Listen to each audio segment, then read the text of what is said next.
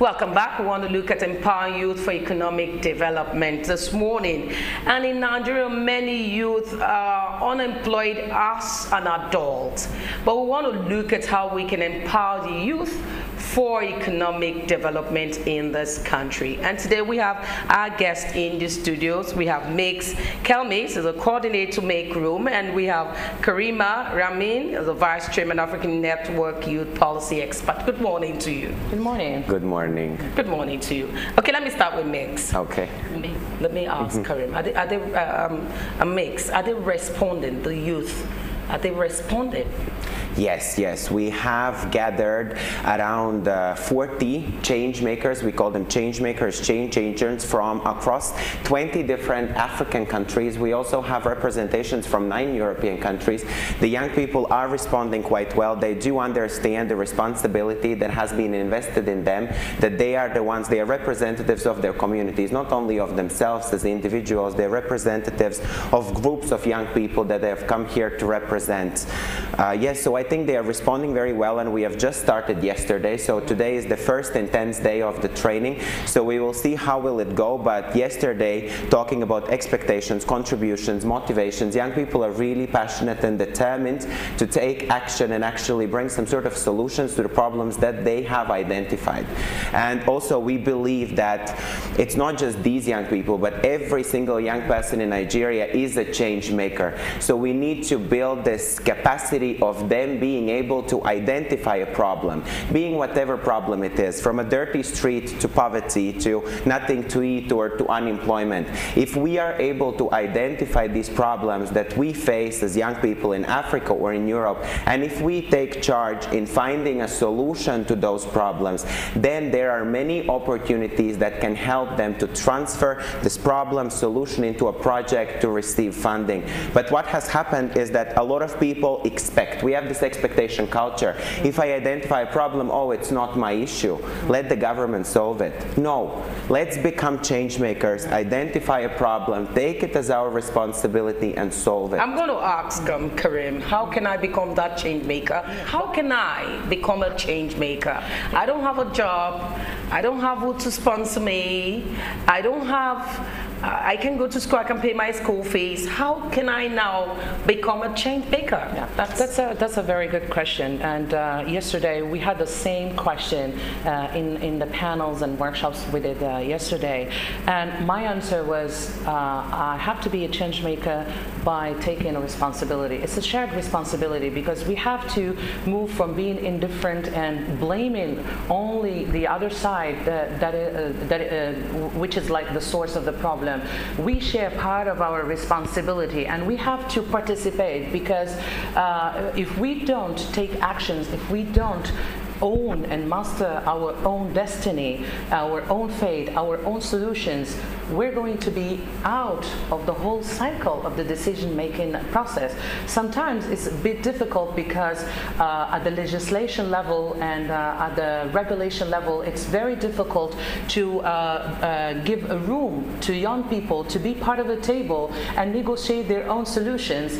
But uh, I think if we leave the empty chair, we're not going to be part of the process. So I think it's also part of the initiative of young people, you know, to advocate for having a seat at the table and be a change maker and be and voice their uh, uh, voice their opinion and be um, like um, move from a culture of protesting, not having uh, a job, etc., to a culture of proposition. They have to to uh, to provide alternative because sometimes uh, government officials uh, have the public will, but they don't have the solutions. So nothing is working, the youths are not doing anything. What do you think she can do and the youth out there?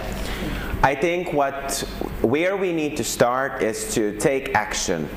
Go outside on your street, go outside in your community and find the problem that you feel the most passionate about be it whatever it is, unemployment or whatever. Find that problem, but be passionate about it. And start thinking of what can be possibly done in order to solve that problem. And start with yourself. Don't start with the government or public offices. Yeah, you want to add yeah. to what? Uh, um, I think it starts with civic engagement. Uh, as Mick said, you can start from your home, from your street, from your small neighborhood and small community. Uh, volunteering is very important because it is the first school that teaches us civic engagement.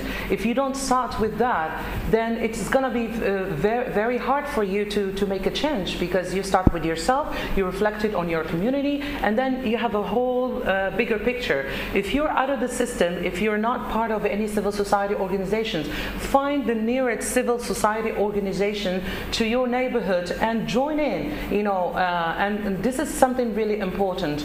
And then you can channel out and do networking with, with your peers.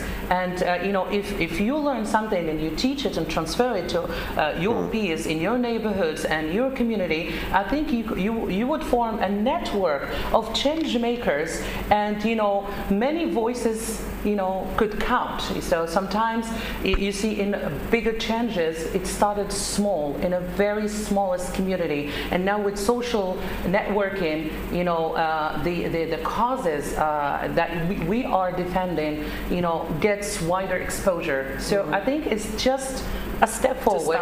where you're start from. Where start, you're from. Start where you're from. From your home, from your neighborhood, from your community, and I think uh, they will they will know the difference. Okay, that's another caller yeah. here. What they are saying is change maker. Maybe you need yeah. to reiterate it again.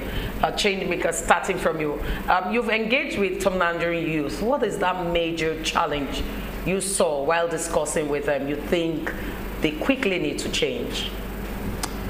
Um, there are a few challenges, mm-hmm. okay, for Nigerian youth or even for the youth that have come from Europe. From Europe. Uh, yes. Yeah. Uh, I think the biggest challenge of no matter where you come from is that expectation culture, what I already mentioned before, mm. is that we don't want to take action of the problems we face. We expect somebody else to be in charge of our own problems. If I don't have a job, people see, oh, it's not my fault my country is doing bad in economics, so there are not enough jobs for people. So the government must be extremely bad. That might be right, and that might be wrong.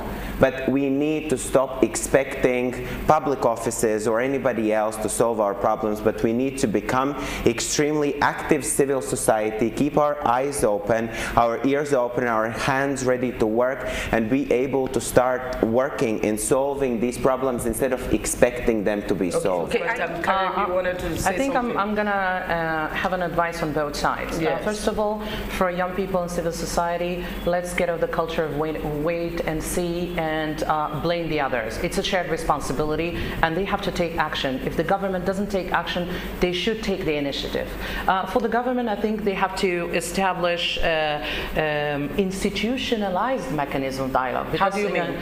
I mean, amending the legislation, whether at the constitutional level or at the normal laws uh, where they, um, they uh, propose institutionalized mechanism uh, at the national or also at the local level because especially at the municipalities this is where participatory democracy starts. And young people have an opportunity to voice their opinion on local politics in municipalities and, and, local government in general. But it should be done through the um, amending the legislation to allow them uh, uh, practice it on the ground. Have a seat for them in, uh, in the table of negotiation and listen to them because when there is a disconnection between citizens and government, then the crisis starts. Also, I think the change in the discourse in terms of communication because sometimes governments in general, this is not the case of Nigeria, government speaks a jargon that is not understood by young people. So they have to change the rhetoric and you know be in their mind mindset to, uh, to be able to communicate with them, listen to them, and reflect their needs in the policies that they're doing. Okay. And finally, what word do you have out there? What, what word do you have for the youths in rounding off? Yes, I think the biggest advice that I can give is recognize yourself as a change maker. All of us are change makers if we want to be change makers. Uh, yes, and keep your eyes open, your ears open, and your hands ready to work. Go out there, identify a problem, don't expect, and begin looking for solutions Okay, to one whatever word? problems. Yeah, One word. uh, one word. Uh, uh, I think uh, there are a lot of opportunities uh, for change. Uh, uh, in Nigeria, you have great youth and great talents. Don't be spectators with change. Lead the change. Okay, I'm a change maker myself, Yes. isn't it? I'm a change maker and it starts from me. Exactly. Yeah. I want to thank Miks Celmins. Um, thank you for coming. And I also want to thank Kareem Ramnim. Thank you so much for coming on this segment of the program. you. Thank you so much.